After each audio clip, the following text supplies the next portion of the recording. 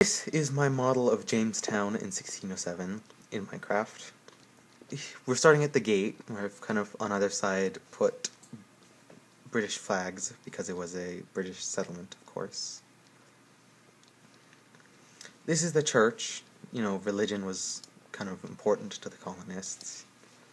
And it's one of, it's built with better construction material, better materials and construction methods than the rest of the buildings, so it's sort of one of the nicer buildings in the fort.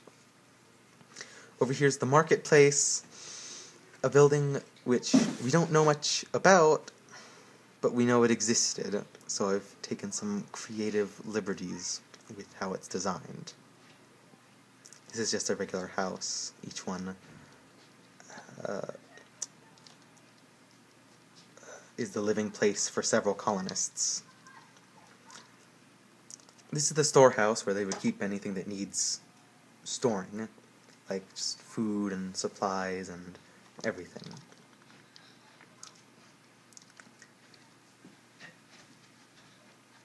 This is the guardhouse, which contains all the soldiers' equipment. So there's armor, and that chest would probably contain swords and guns and ammunition and things like that. This is the house in which the blacksmith lives. So above ground, it's just sort of a regular home.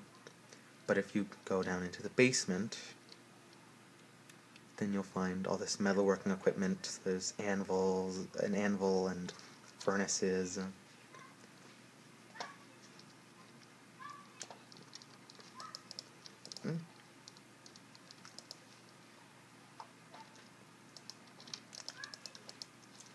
The whole fort, obviously, is enclosed with this big old palisade wall.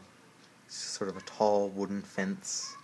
And at each corner, it's got these bulwarks, which would have cannons mounted on them to defend from aggressors. And. Hmm? Well. Oh.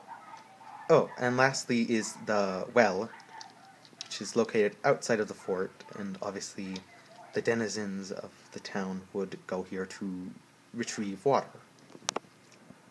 And that's the model.